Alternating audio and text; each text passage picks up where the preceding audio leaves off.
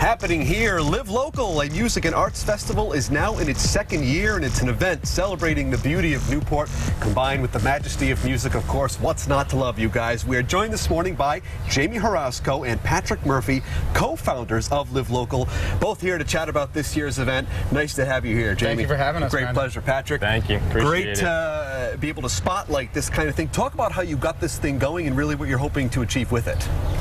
Uh, so basically, Live Local started as an idea. Um, basically, we wanted to give locals their own stage. You know, we have the Folk and Jazz Fest, which are these iconic festivals in Newport. Right. And you don't see a lot of uh, locals on these stages. So As as a tourist-driven, service industry-centric town, Right. Newport often the local scene kind of gets overshadowed, and there's a cool surf creative culture underneath it all, and we're trying to spotlight that. What a tremendous way to be able to spotlight those creative types, the ones who just live for this. They eat, sleep, sleep, and breathe music. It's their opportunity to shine, isn't it? Absolutely. Exactly. So, like a lot of our uh, musicians are bartenders at your local pub or carpenters, and we kind of want to showcase that these people also have tremendous talent. And let's talk uh, when and where exactly we can find the festival if we want to show up and support. Absolutely. Uh, next Saturday, July 21st at 21 Farewell Street. It'll be at the Great Friends Meeting House, which is right across from Mission, Newport, off of downtown Broadway. Outstanding. And obviously, music, music, music is what it's all about. We have a fabulous drummer that's going to be serenading us in just a moment. But uh, in addition to uh, this type of performance, what else can we expect? Everything and Uh, we everything have in about between? 35 artists that come and set up booths and show off their uh, artistic ability. Um, we have a live mo- movie theater that's going to be there, so you guys can go check out uh, Surf Films by the Current.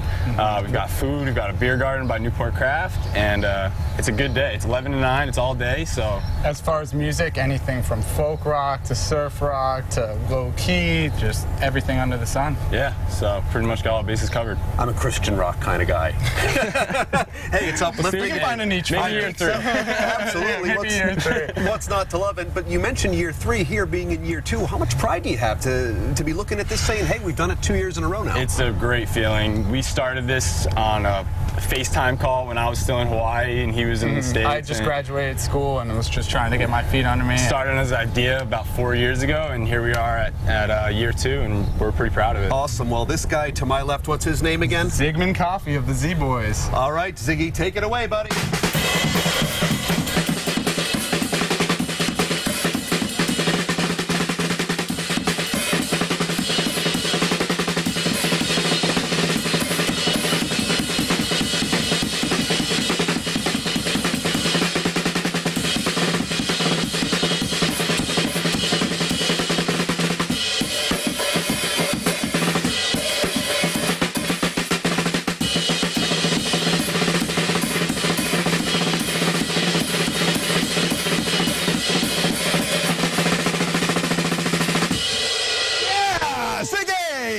Look out! thank you, buddy. Can I get you a decaf? Nice job. Hey, thank you so Thank you, much. Brendan. that was great. Appreciate a it. pleasure to be able to Yeah. spotlight this local Absolutely. event. Did you guys know I taught him that? if you would like to learn more all about this great local festival in its second year now, you'll want to check it out. I'm planning to be there. What's not to love? Get the info at rhodeshow.com.